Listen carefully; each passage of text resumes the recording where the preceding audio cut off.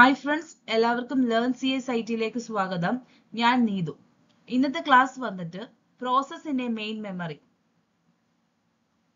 Main മെമ്മറിയിൽ എങ്ങനെയാണ് process വന്നിട്ട് സ്റ്റോർ ചെയ്യുന്നത്? അല്ലെങ്കിൽ എങ്ങനെയാണ് റെപ്രസെന്റ് ചെയ്യുന്നത് നമുക്ക് നോക്കാം. കഴിഞ്ഞ ക്ലാസ് നമ്മൾ എന്താ നോക്കിയത് what is a process and the main difference between the process and main memory എന്തായിരുന്നു process it's a program in execution program എന്തായിരുന്നു? സെറ്റ് ഓഫ് ഇൻസ്ട്രക്ഷൻസ് ആണ്. മെയിൻ ഡിഫറൻസ് എന്തായിരുന്നു? പ്രോസസ് എന്ന് പറയുന്നത് സ്റ്റോർ ചെയ്യുന്നത് മെയിൻ മെമ്മറിയിലും പ്രോഗ്രാം വന്നിട്ട് സ്റ്റോർ ചെയ്യുന്നത് സെക്കൻഡറി സ്റ്റോറേജ് ഡിവൈസിലുമാണ് ഇവിടെ ഒരു എക്സാമ്പിൾ ആണ് സി പ്രോഗ്രാം ആണ് എടുത്തിട്ടുള്ളത്. അത് സ്റ്റോർ ചെയ്യുന്നത് എവിടെ ആയിരിക്കും സെക്കൻഡറി സ്റ്റോറേജ് ഡിവൈസിലാണ് സ്റ്റോർ ചെയ്യുന്നത്. ഈ പ്രോഗ്രാം എക്സിക്യൂട്ട് ചെയ്യുന്ന സമയത്ത് പ്രോഗ്രാം എന്തായിട്ട് മാറും? പ്രോസസ് ആയിട്ട് മാറും. ഇങ്ങനെ പ്രോസസ് ആയിട്ട് മാറുന്ന പ്രോഗ്രാം ഉണ്ടല്ലോ. അതായത് എക്സിക്യൂഷൻ ടൈമിൽ അത് എന്തായിട്ട് മാറും? പ്രോസസ് ഈ പ്രോസസ് വന്നിട്ട് സ്റ്റോർ ചെയ്യുന്നത് മെയിൻ മെമ്മറിയിൽ ഈ ഒരു ഫോമിലായിരിക്കും സ്റ്റോർ ചെയ്യുന്നത്. When program is loaded into the main memory it becomes a process അങ്ങനെയാണല്ലോ.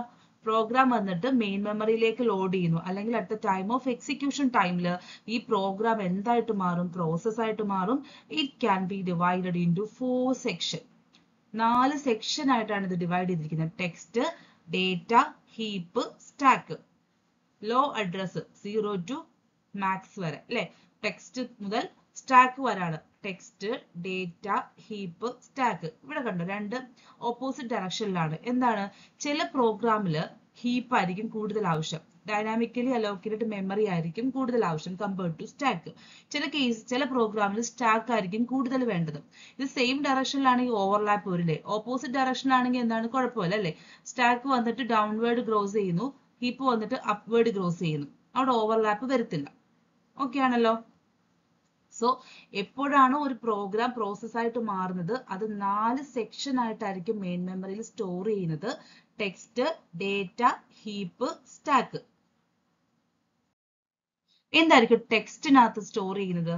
Machine code of the program ആണ് അല്ലേ? Machine code. നമ്മളൊരു പ്രോഗ്രാം എടുക്കുവാണെങ്കിൽ ആ പ്രോഗ്രാമിന്റെ മെഷീൻ കോഡ് ആയിരിക്കും ടെക്സ്റ്റ് സെഗ്മെന്റിൽ സ്റ്റോർ ചെയ്യുന്നത്.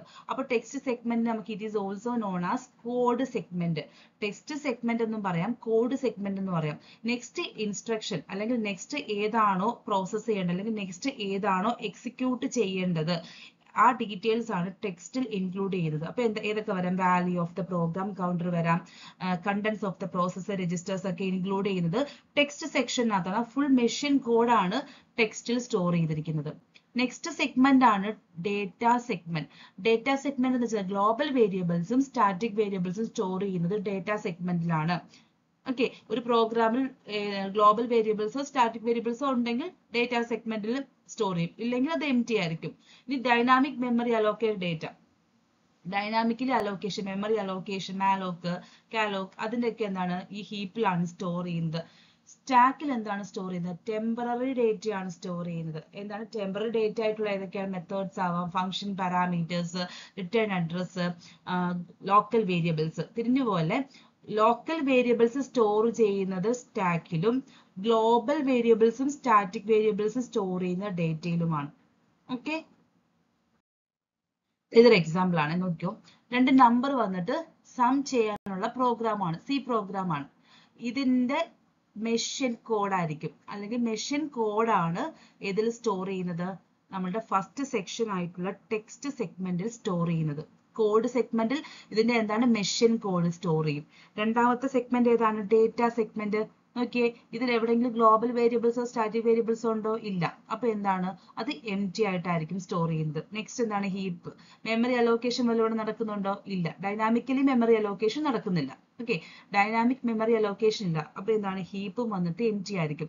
നെക്സ്റ്റ് ഏതാണ്? സ്റ്റാക്ക് ആണ്. സ്റ്റാക്കിൽ ഏതൊക്കെ ലോക്കൽ വേരിയബിൾസ് ഉണ്ടല്ലോ. Number one number two sum then print function ഇതെല്ലാം വാല്യൂ എവിടെ ആയിരിക്കും? സ്റ്റോർ ചെയ്യുന്നത്. സ്റ്റാക്കിലായിരിക്കും സ്റ്റോർ ചെയ്യുന്നത്. ഇനി മെമ്മറി ഒക്കെ ഹീപ്പ് അലോക്കേഷൻ അതായത് ഡൈനാമിക് മെമ്മറി അലോക്കേഷൻ ഉള്ള ഒരു പ്രോഗ്രാം ആണ്. The example 2 നോക്ക്. C program to demonstrate demonstrate use of global variables local variables memory allocation and and allocation കാണിക്കുന്ന ഒരു പ്രോഗ്രാം ആണ്. ഇത് പ്രോഗ്രാം ആണല്ലോ. ഇതിന്റെ കറസ്പോണ്ടിങ് പ്രോസസ്സ് എങ്ങനെയാണ് മെയിൻ മെമ്മറി സ്റ്റോർ ചെയ്ത് നോക്കാം. ഫസ്റ്റ് സെക്ഷൻ ഏതാണ്? ടെക്സ്റ്റ് സെക്ഷൻ ആണ്.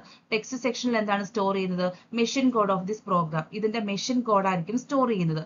നെക്സ്റ്റ് സെക്ഷൻ ഏതാ? ഡേറ്റ സെക്ഷൻ ഡേറ്റ സെക്ഷനിൽ എന്തൊക്കെയാ സ്റ്റോർ ചെയ്യുന്നത് ഗ്ലോബൽ വേരിയബിൾസ് ഉണ്ട് സ്റ്റാറ്റിക് വേരിയബിൾസ് ഉണ്ട്. ഇവിടെ നോക്കിയേ ഗ്ലോബൽ വേരിയബിൾസ് ഏതാ? Global var equal ten main function outside വന്നിട്ടുള്ള ഗ്ലോബൽ വേരിയബിൾ എവിടെ സ്റ്റോർ ചെയ്യും? ഡേറ്റ സെക്ഷനിൽ സ്റ്റോർ ചെയ്യും. നെക്സ്റ്റ് സെക്ഷൻ ഏതാണ്? ഹീപ്പ് ആണ്. ഹീപ്പിൽ എന്താണ്? ഡൈനാമിക്കലി അലോക്കേറ്റഡ് മെമ്മറി ഇവിടെ ഉണ്ടല്ലോ ഡൈനാമിക് മെമ്മറി അലോക്കേഷൻ ഉണ്ടല്ലോ. ഇവിടെ നോക്കിയേ dynamic var is declared as a pointer to an integer അല്ലേ and allocated memory on the heap using malloc function okay. It is initialized with value എന്താണ്? 20 ആണ് അല്ലെ? Value 20 ആണ്. ഇതിന്റെ ഡീറ്റെയിൽസ് മൊത്തം എവിടെ ആയിരിക്കും പോകുന്നത്? ഹീപ്പിലായിരിക്കും പോകുന്നത്. അടുത്ത സെക്ഷൻ ഏതാണ്? സ്റ്റാക്ക് സ്റ്റാക്കിൽ ഏതൊക്കെയാണ് സ്റ്റോർ ചെയ്യുന്നത്? ലോക്കൽ വേരിയബിൾസ് ആയിട്ടുള്ള int local var equal to five main functions ഇതൊക്കെ എവിടെ ആയിരിക്കും സ്റ്റോർ ചെയ്യുന്നത് സ്റ്റാക്ക് സ്റ്റാക്കിലായിരിക്കും സ്റ്റോർ ചെയ്യുന്നത്. ഇവിടെ നോക്കിയാൽ ഫ്രീ എന്താണ്?